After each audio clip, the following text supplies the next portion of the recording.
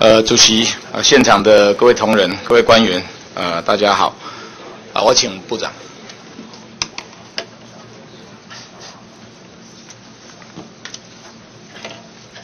蔡委员好。呃，部长你好。呃，部长，我想呃跟你请教一下哈，这个报纸说你要去当这个国安会的秘书长，呃，这件事情是不是真的？呃，我尽信书不如无书了，报纸登了很多篇了。你希不希望去当这个位置？我我我不希望，不希望。你只希望就做到国防部部长？不，这个话不必问我们，这个是报纸登的，不要相信。我我知道报纸登，我现在问你嘛，就是报纸我们不管了嘛。我问你的意见，你个人希不希望有有朝一日有机会去当这个国安会的秘书长？那是。这不在我的人生规划在。OK，所以你很想当这个部长，我不想把这个部长做好。没有没有，对对对吧？对，哦对，吓我一跳，我以为你不要把这个部长做好。好，如果你不想去当国安会的秘书长，接下来的问题要问你才有意义了哈。部长，我有两个小孩子，你有几个？我有一个，你有一个，我们都是当爸爸，对不对？是吧？是是了哈，别不要紧张了，我我我我不会害你的哈。都是当爸爸哈，我们今天以当爸爸的心情来看江国庆这个案子。如果部长跟我，我们的孩子在军队里面遭受到这样子的凌虐，最后不幸牺牲了性命，部长，以你做一个爸爸，你暂时不要用部长的身份回答我，以你当一个爸爸，如果你看到这个政府对待我们的孩子，他只是高高举起，轻轻放下，甚至记得过，对这些已经退休的人来讲不痛不痒。司法因为过了期限，没有办法处理，你可不可以接受？向委员报告，我们对这个司法认为这个呃时间超过以后的事情，他们家属已经提出在意了。对司法的部分，我想就让我们就让司法去处理嘛。对。所以相关的就是没有刑责的人员，对，根据法律最后的判决，没有刑责的人员，我们要追溯行政上的处分。对，你们行政处分也做了决定了嘛？是，你们只给他们记过或申诫嘛？是，是不是这样子？是，对。那我想就说我今天请教一个，我们都是做父亲的，是我们一个做父亲的心情，面对我们的孩子，他的人生在这么这么年轻的岁月里面，就因为这样子。而失去了他的性命，而且这个过程是极尽凌虐。部长，如果你做一个爸爸，我也是爸爸，你可不可以接受这样的一个最后的结果？我们现在我们是一个法治国家，我知道我们是法治国家，所以必须要依法行政。对，所以我了解。根据，所以我刚刚不要要你用国防部长的身份回答我嘛，我希望你用做一个爸爸的心情。所以我觉得是同理心嘛，所以我特别，我个人。是以国防部长的身份到他家里面向他家属，我我都同意，我没有怪你们。是，你刚才已经回答我，你想把国防部长干好，所以我才回答，我在问你接下来这个问题。是，所以你觉得做一个爸爸的心情，江国庆的妈妈是不能够接受，我们在报上都看到了。我今天不管我做一个立法委员或做一个孩子的爸爸，我也不能够接受了。那今天如果你做一个孩子的爸爸，你可不可以接受？我想这个就是要按照这个法律程序走完嘛。他这些人有没有行？不是，好，那你如果不想回答我这个问题，我知道你没有办法回答我这个问题啦。没有，我相信你的内心，如果你是有良知的部长，想要做好事情的部长，我相信你内心呐，你有刚毅的外表，但是你必须要有柔软的心呐。我相信，如果作为一个在这个社会上有柔软心的人，看到这样的判决，大家一定是义愤填膺啊，大家一定是不能够接受啦，部长。那我想请问你，选前我们这个马政府有宣誓嘛？面对江国庆的案子要严惩。是。那今天我们已经看到选举结束了，我们也看到了结果了。严惩的结果就是这几个人，呃，部分被记过或者记申诫，是不是就这样子了？这件事在国防部是不是已经结束了？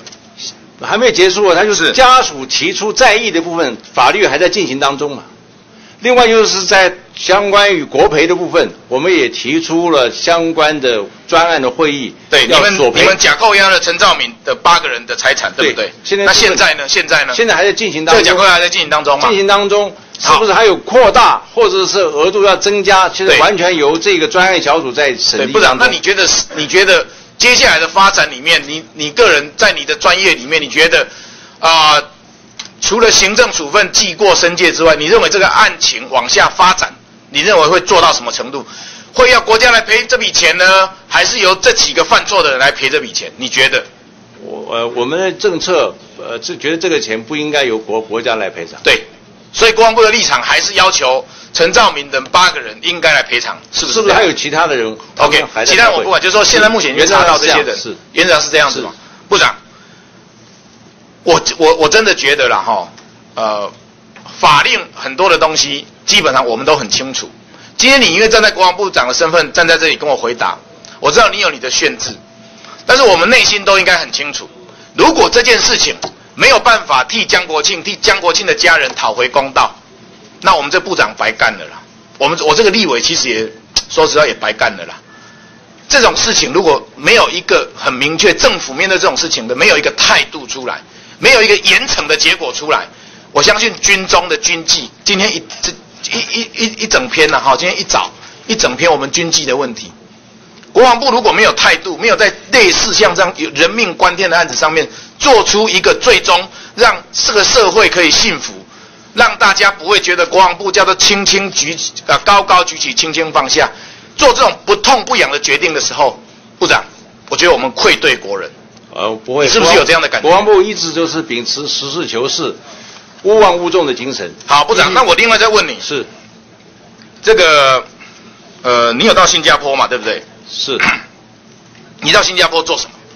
我是这个新加坡的航空展，它是一个两年一次的展览，邀请我们去参观这些航空展览一些武器装备的发展状况。跟空军的高级教练机的采购应该有关系。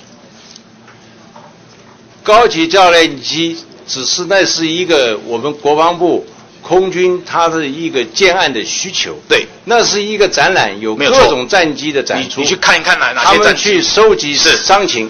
是，那你这次看了之后，你觉得跟你这个所谓的呃空军高级教练机的采购有没有关系？我没有关系，我是看不，我的意思是说我的意思说会呃这一次展览里面含不含这个部分，含不含展示这所谓的呃空军的高级教练机，含不含？应该有含，在里面也有包含在内哦部长那你觉得呃外面都在提到说，你个人对于这个意大利的 M 三四六这个教练机，你觉得个人觉得蛮很满意，或者我们国防部里面的评估觉得这个很很不错我没有个人，我没有个人意 OK，愿。那我们国防部是是不是评估这个这个机型不错？这个空军他们在还在收集伤情还没有决定就对了，还没决定，还没有决定到今天为止都还没有决定，还没决定。OK，那我那部长，那个我也听说哈，我们台中的汉翔公司啊，他们愿意把这个 IDF 降级，来做这个啊、空军的这个高级教练机，你觉得这样适不适合？国防部会不会考虑跟汉翔向委员报告。来合作？我们呃任何选项都不排除，这个必须要专业去评估。对，这是一个呃一个空军的专业，所以这个也算评估的项目他们之一。项目之一。OK 那不不长，如果做一个评估的项目之一哈，本席建议啦，类似像这样的采购，等一下不只是这个所谓的呃呃，高级委员报告，汉翔航最近给我们有一个什么工程上的问题，他现在好像有停约啊，是不是哈？不不是这个问题嘛，不是高级教不是这个问题，可是他其他的有问题，我我。有个修复问题，我们现在可以就要终止他的合约。部。长这个这个哎。我问你这个其实没有什么特别用，我只是要提醒你，我想台湾哈有国防部的国防的产业是火车头啦。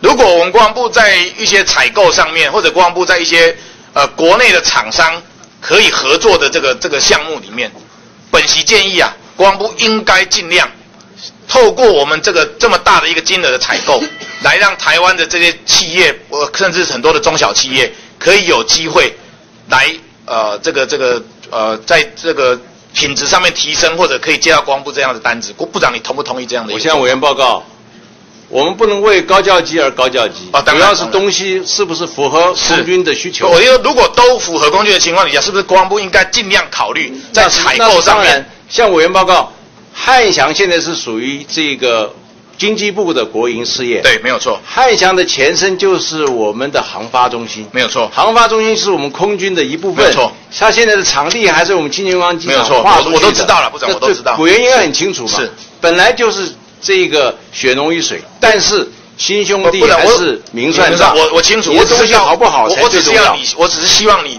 来承诺说，如果条件都符合的情况底下，在经济发展上面，国防部可以协助台湾的整个中小企业或者经济的发展。你觉得这个方向上你同不同意？当然一定同意嘛，哈。同意。好，OK，那还有一分钟是，那最后一个问题哈，部长，刚刚这个江启成委问到这个丰原的这个保修厂，是那在我们台中也有这个呃外埔铁山的这个营区，也有这个大甲这个中山里的营区，那市长国防部都放在那里都没有用嘛，部长。像这样的一个土地的国防部这样闲置土地的运用，闲置土地没有运用，或者这个都呃都放在那个地方，事实上这个会造成地方哈、呃很多的问题产生。譬如说那个地方因为没有人管理嘛，所以可能宵小啦，或者甚至呃有些人在那边吸毒啊等等这些事情，我想在地方都时常有耳闻。是不是国防部应该对这些呃土地应该做一些妥适的规划或者会做管理？会做是。可以吧？但是有一些区域啊，像委员报告，有一些营区，我们现在因为八八水灾的经验啊，有些是我们动员教招要用，对或者是战备急需，有一些可能也是一个灾防的收容的必须的地方。OK 这个我们会做一个完整的规划。好，部长，我刚刚提那两个是不是因为我时间已经到了是哈？是不是请部里面的同仁是会给我一个书面如何来针对那两个营区大甲地区那些营区我我都待过，我晓得。OK，谢谢，好。